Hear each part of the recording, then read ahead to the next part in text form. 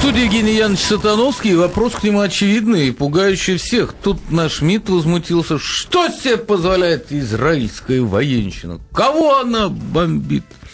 Как она так, без получения, как написал на какой-то гражданин, а что же это, что, была санкция Совбеза? Я спросил, а что теперь надо? А, Сирия воюет с Израилем, Сирия находится с Израилем в состоянии войны. Точка. Перемирие по голландским высотам соблюдается, по сирийской армии никто не бьет. А, война идет, что называется, по доверенности. Через сирийскую территорию идут различные караваны с вооружениями, а, ракеты для Хизбаллы. В Южном Ливане эти ракеты достаточно серьезные арсеналы составляют, и они парализуют добрую половину Израиля, запускали их многократно. Ну, представьте себе аналог. Вот у вас есть 22 июня 1941 года, и вы об этом знаете. Вот не как товарищ Сталин, которому хоть зорги, хоть не зорги, а, а вы, вы четко А вы четко что, знаете, да. что по вас ударят, вот, вот. Вы превентивный удар нанесете? Или вы будете до Москвы откатываться и до Сталинграда, а потом с большим трудом, как Высоцкий пел, землю толкать ногами на запад.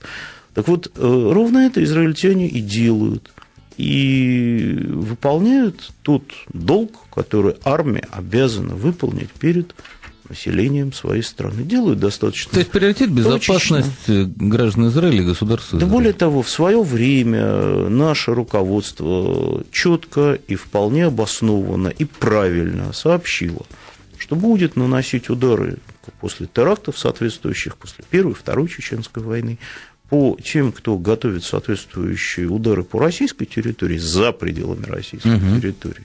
Потому что вот не надо, еще раз повторяю, ждать там, снега под Москвой и Сталинградом 41-42, а надо успевать бить первыми. Если это происходит точечно, если не ковровой бомбардировкой, которая сносит просто все подряд, а убрали объект, на котором шли работы плутониевого цикла. Плутониевая программа – это важно для производства ядерного оружия. Делали для себя в запас или там для иранцев – скорее всего. Ну, то есть Биби выполняет это то обязательство, Но которое на себя взял. Точечно был нанесен удар по конвою, который вез из Сирии ракеты, так называемые САМ-17, которые могут подбивать израильские военные самолеты в сторону Хизбаллы. То есть получится в скором времени, что Израиль окажется окружен а, не гигантскими государствами, а будет э, чуть ли не самым крупным среди мелких. Так ведь вся проблема, которая в регионе, в Большом Ближнем Востоке, и сейчас она катится в Африку, и это будет гораздо хуже, чем Ближний Восток. Там под племенным границам. Ой, да, там же у нас границы по линейке были А там не только племена, там еще внутри племенные Внутриплеменные дрязги. отношения, там, там Ой, войны страшные. Нет, когда у тебя начинают в Сомали Дир, Дарод, э, Исхак и Раханвейн, четыре основные племенные союза, кто за, кто против, когда у тебя Загава, Миссерия, Фур в Судане и все остальные, когда у тебя начинаются берберские, внутри туарекские, э, Тубу в Ливии, вот все, что это катится, это называется развал послевоенного устройства, пост постколониального устройства ну, это, мира. де-факто колониальное Вот были границы установлены колониальными. Да, и теперь они не держатся. В Африке их, как говорит Маргелов, там 20 с небольшим процентов границ в Африке, это границы, проложенные между народами, а все остальное поперек.